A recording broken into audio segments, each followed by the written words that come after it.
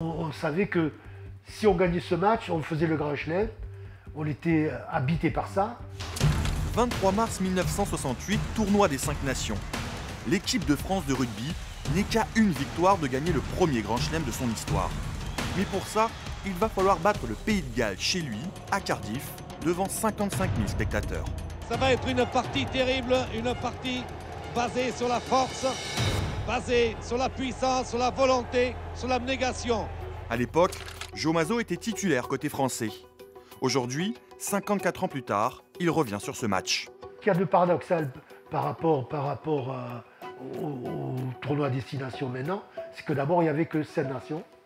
L'Italie n'était pas encore invitée et qu'on jouait que contre les Britanniques.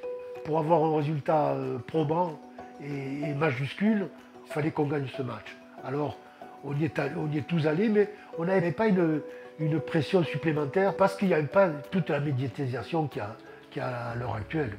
Coup franc contre la France. Reis tire et marque. 9 à 3, c'est la mi-temps. Entre joueurs, on s'est dit que maintenant il fallait mettre une pression supplémentaire sur l'adversaire. Le terrain était très très boueux. On savait que ça allait se jouer devant euh, dans la conquête. Et ça paye. Seconde période, la France passe devant grâce à deux essais. Avec un cœur admirable, les avants français supportent tout le poids de la bataille. Mais la marge reste mince. Il leur faut accentuer leur avantage. Coup de sifflet final, 14 à 9, c'est historique. La France remporte le premier grand chelem de son histoire. Dans ma carrière, c'est un, moment incontournable et, qui, a marqué, qui a marqué ma carrière, bien sûr. Avec d'autres matchs, mais celui-là était le plus important. Toute cette foule qui rentre sur le terrain, tous les Français qui étaient, qui étaient dans le stade sont arrivés sur le terrain pour faire la fête avec, euh, avec nous. Alors à l'heure actuelle, c'est plus possible. Voilà, sur des dernières images de cette foule en délire, regardez les Français rentrer au vestiaire, couverts debout. Et il y a un Gallois, un Gallois qui nous dit la France, meilleure équipe du monde. Eh merci Galles, merci la BBC pour tout.